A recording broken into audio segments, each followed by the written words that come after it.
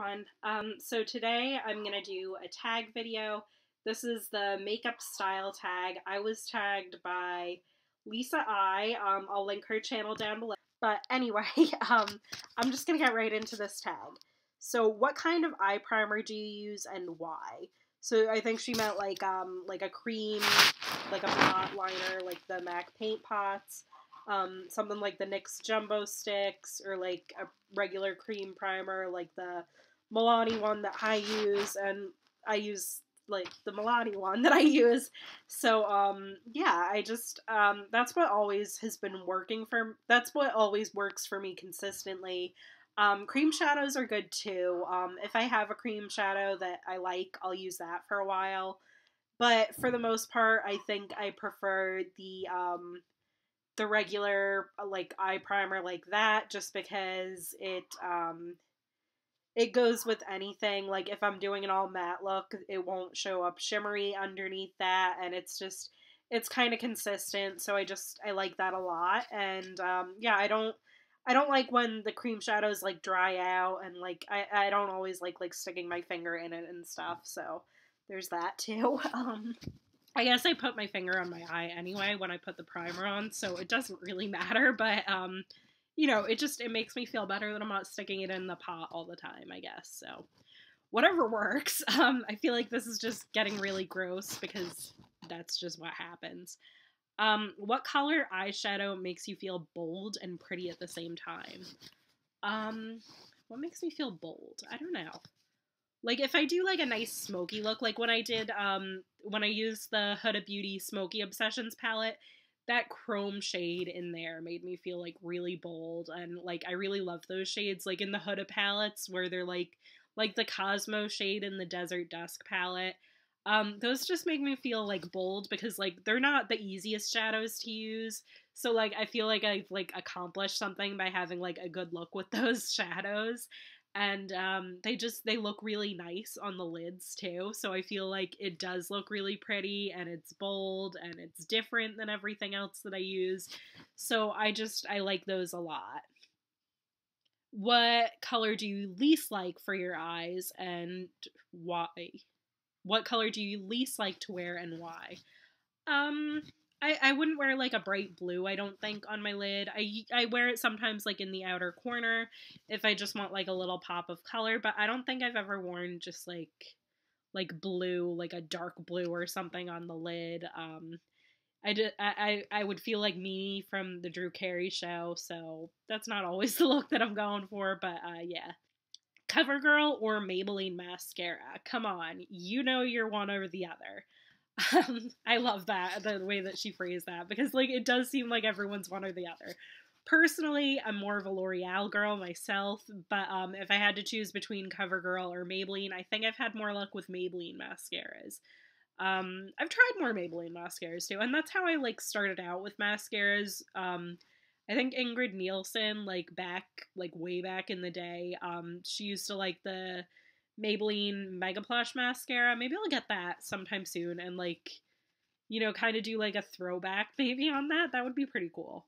Um, but yeah, I, I would say Maybelline over CoverGirl. If you could have perfect, if you could have your ba- I can't talk, guys. Uh, this is like the, I filmed a lot of videos already, and I'm still not feeling great. Um, if you could have your brows permanently done for the rest of your life or never wear blush, what would you do? So I kind of just like the way that my brows look right now. So I don't usually fill in my brows or anything, um, just because I'm happy with how they look. So I guess I kind of already have my perfect life. Um, so yeah, um, let's just do a hair flip there. Um, uh, because that seems like a hair flip type answer. I don't know. Um, but yeah, that's I, I like my brows already, so I'm good with that. And I like wearing blush, so yeah. Do do you or your best friend wear more makeup?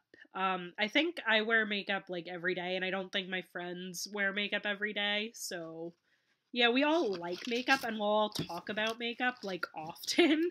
But um, yeah, it's just uh, it's more my thing. I think. Are you a fan of cream cream products? Um, not really. Actually, now that you think about it, I feel like maybe that's just like a thing with like YouTubers just always being like, oh, you know, I don't really like cream products that much, even though they like always use cream products. But I think like maybe that like gave me like a bias against cream products that like I didn't realize I had. And yeah, that seems to be what happened because I used to really like cream products but then I feel like I got that bias against them. So yeah, I, I again, it annoys me when they dry out though. And yeah, so maybe that's why I don't like them either. But I think I might just be biased because I feel like YouTube's like creating a conspiracy against cream products because no YouTuber seems to like them very much. So I'm gonna go with that. I think it's all a conspiracy. Um, who taught you to do makeup? Um, so I kind of just I kind of did it on my own. But like when I was in college was when I really started to get into it because like um my roommate did her makeup and it was just it was just kind of something to do in the morning um before class. And since my roommate was already doing it, I felt like I might as well. So that's just kind of what got me into it. Um, but yeah, um, I also like I used to always watch YouTube beauty videos. Like um, Michelle Phan was like the first big one I remember watching. And like she did like some crazy looks too, like her Tim Burton makeup tutorial and like she did all these look and she had like a Lady Gaga one and you know like I love Lady Gaga and um that was just really great and yeah so I, I guess it was like a combination of them. I don't know it just like it seemed like a good time and like I I liked um Ingrid Nilsen's videos a lot and like everybody always mentions the Revlon lip butters. I feel like like YouTube just like made those products happen and like I have no idea why they're not around still because like I feel like YouTubers like loved them. They're like, "Oh my god, Revlon lip butters. They're just like a tiny tinted gloss." Like not a gloss, but like a balm and like it's just so funny that like that was a huge craze because everybody on YouTube was trying to get them and it was just I don't know, it's so funny. Um, are you a project panner? No.